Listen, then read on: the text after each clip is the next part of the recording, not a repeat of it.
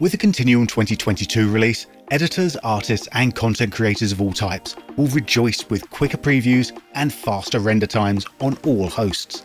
Adobe leads the charge with the new multi-frame rendering, introduced in the fall 2021 release of After Effects. Continuum 2022 has been retooled and reloaded with this groundbreaking new feature, and the results are impressive. Performance can vary per effect, but Continuum now renders faster than ever before in After Effects, previewing and rendering on average 25% faster with multi-frame rendering.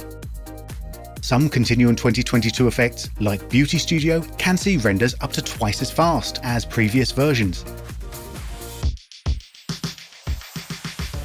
But of course, the speed increases are not just limited to Adobe After Effects. Continuum 2022 is faster across the board in all its supported hosts, with blazing fast render times in Particle Illusion. Continuum's leading particle generator system, Particle Illusion, has undergone massive performance optimizations and now renders up to 5 times faster than previous versions, in addition to faster interactivity in your host. And to top it off for Mac users, Continuum 2022 now supports native processing on Apple's new M1 and M1 Max machines. Whatever platform you're working on and whichever host you're in, Continuum 2022 has improved speeds, so you can spend more time in a creative flow and less time waiting for render bars. Continuum 2022 is now available for download.